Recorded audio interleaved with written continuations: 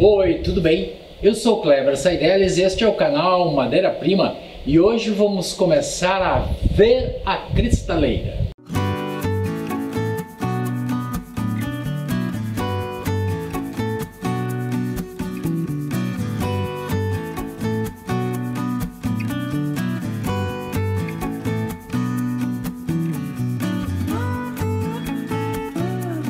Pois então, meus amigos, nós estamos chegando naquele momento em que a nossa cristaleira está prestes a começar a mostrar o seu rosto.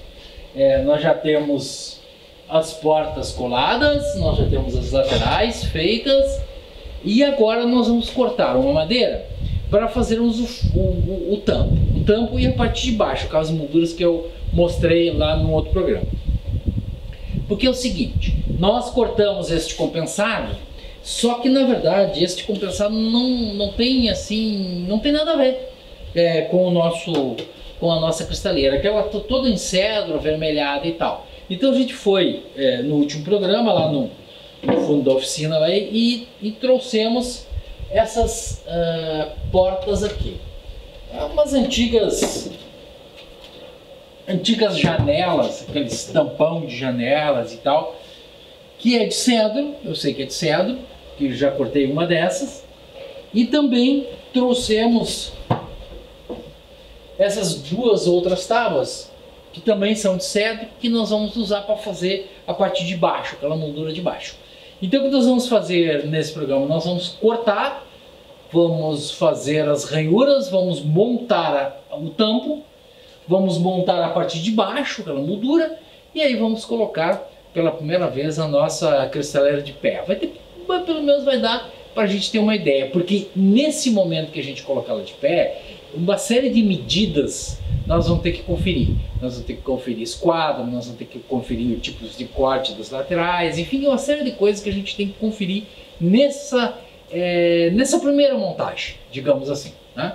Então o que nós vamos fazer agora? Nós vamos na serra, vamos cortar estas peças aqui num certo comprimento, vamos passar é, na plana para tirar esse verde aqui, para nós conferir se a madeira realmente está em condições da gente usar. E aí vamos montar e a gente volta aqui para a bancada, tá? Vamos lá?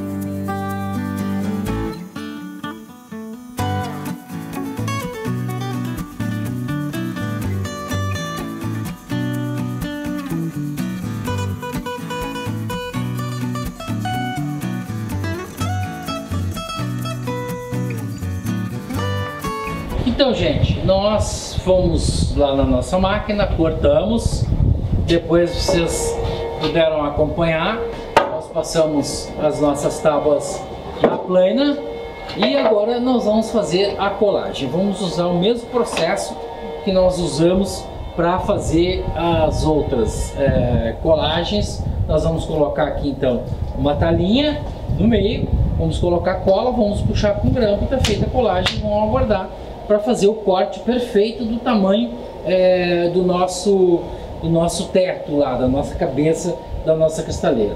E aqui também cortamos duas, é, dois pedaços que a gente vai usar embaixo para fazer aquela moldura que eu mostrei para vocês, onde vai apoiado o fundo e onde vai apoiado as laterais. Então agora nós vamos trabalhar nisso, vamos colar, Vamos trabalhar aqui nessas duas molduras, vamos fazer um, um trabalho é, que não interessa basicamente para vocês acompanharem. E aí a gente volta quando isso aqui estiver colado e a nossa moldura estiver feita para a gente fazer a nossa primeira montagem então é, da nossa cristaleira. Vamos também fazer o encabeçamento aqui, ou seja, vamos trazer essa peça pronta e essas molduras de baixo também prontas e aí a gente monta a cristaleira. Bom, gente, nós estamos começando então aqui o processo de colagem, colocação de cola das talas. É, essa cola que nós estamos usando aqui é uma cola PVA. Eu usei é, na colagem das laterais uma cola diferente. Várias pessoas ficaram perguntando que cola era aquela. Aquela era uma cola expansível, uma cola pur. Eu usei apenas na montagem das laterais que tinha espiga e também nas portas. Por quê? Porque na hora da, da, da colagem das espigas, muitas vezes ela não fica perfeita, ela não fica justa e tal. E aquela cola, como ela é uma cola expansível, ela preenche eventualmente todas aquelas falhas que nós tiver na nossa espiga. Aqui não, aqui não tem problema nenhum. Também não, não precisamos nos preocupar com a parte da saída aqui, porque vai ser cortada, vai ficar dentro do encabeçamento. Então, gente, estamos de volta. Vocês puderam assistir quando nós estivemos lá na serra e na plana e nós transformamos uma tábua, duas tábuas iguais a esta, que a gente olhando assim, a gente vai dizer, bom, isso aqui vai para o lixo. Muitas vezes a gente encontra em caçambas de lixo madeiras muito melhores em apresentação do que esta aqui. Então, na verdade, esta madeira que está aqui saiu desta madeira aqui. Pois bem, fizemos os cortes, planamos e fizemos o encabeçamento do tampo. Nós usamos as mesmas madeiras que nós tínhamos feito o encabeçamento naquela peça de compensado. Nós escolhemos usar é, um cedro para fazer um padrão é, da nossa cristaleira. Se você está fazendo, por exemplo, com marfim, um pinho, um tauari, eu acho que não tem problema nenhum de fazer com um compensado mais claro. No nosso caso ia ficar muito diferente, então a gente optou por fazer essa composição aqui. Então aqui o tampo está pronto. Aqui tem um detalhe, quando a gente montou a cabeça aqui dessa lateral, a gente deixou um pouco mais comprido aqui. Isso é uma, um recurso muito interessante, porque nós vamos arredondar aqui conforme o modelo e vamos passar uma tupia uh, portátil aqui. Que, que acontece? Se a gente tem esse espaço maior aqui, vai nos facilitar em muito quando a gente fizer o movimento com a tupia. Eu não sou bom em tupia portátil, eu me acostumei a trabalhar com tupia estacionária. A Paulo, por exemplo, já trabalha melhor, né? então talvez até ela faça esse trabalho aqui na borda aqui do, do, da, da, do nosso tampo. Então o nosso tampo está pronto. Também está pronto a nossa base.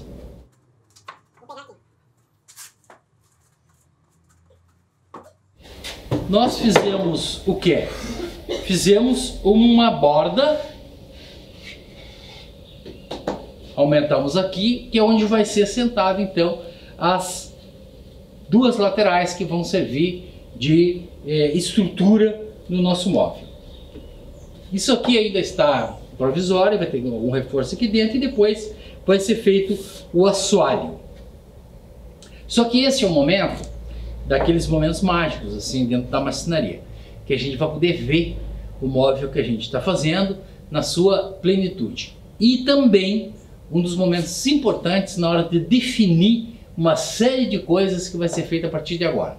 O que nós vamos fazer agora? Nós vamos montar a nossa cristaleira. Vamos lá?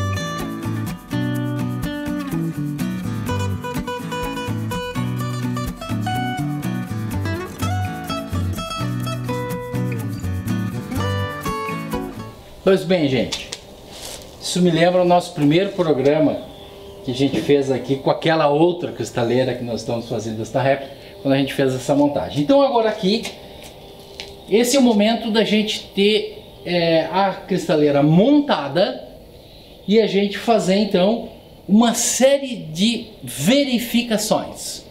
Por exemplo, a posição exata das laterais, nós vamos ter que dividir. A posição exata que vai ficar as portas. Por quê?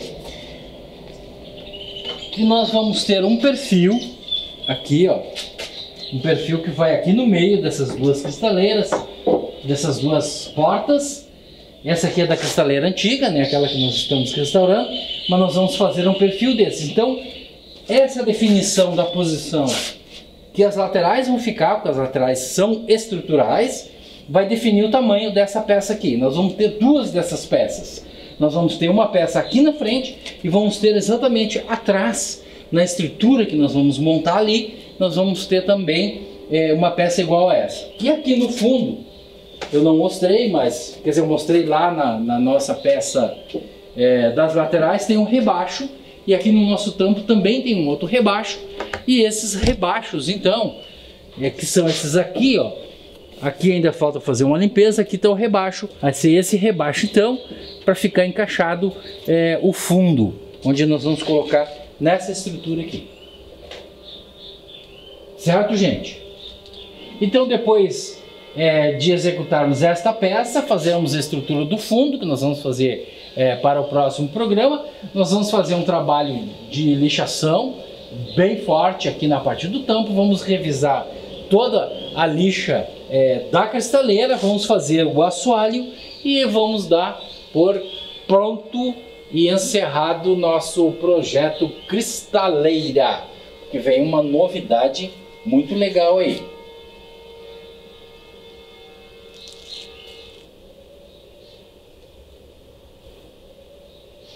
Então, gente, nossa primeira visão da nossa cristaleira.